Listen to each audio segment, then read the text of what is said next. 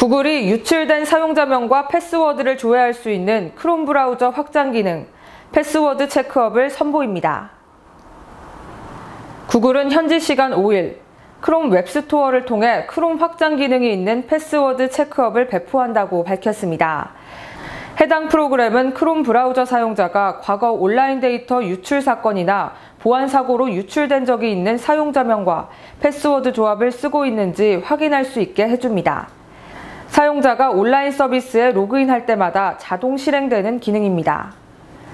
구글은 Password Checkup 개발을 위해 지난 몇 년 동안 보안 사고로 공개된 유출 계정 정보 40억 건 이상을 수집해 데이터베이스를 구축했습니다. 만약 사용자가 입력한 계정 정보가 과거 유출된 사용자명과 패스워드 조합과 일치하게 되면 Password Checkup은 사용자에게 경고 메시지를 팝업 형태로 알려줍니다. 특히 유출 계정 DB와의 일치 여부 확인 시 사용자명과 패스워드 각각이 아닌 조합만을 알려줘 DB를 악용할 수 없게 만들었습니다. 이 밖에 구글은 credential stuffing 공격을 방어하고자 Password Checkup을 개발했다고 설명했습니다.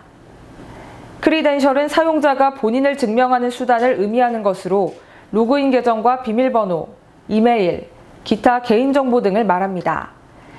credential stuffing은 이미 확보한 계정과 비밀번호를 무차별 대입해 로그인 후 사용자 정보를 추가로 유출하는 공격 방식입니다. 즉, 과거 유출된 것과 동일한 계정 정보를 여전히 쓰는 사용자를 대상으로 한 해킹 공격입니다.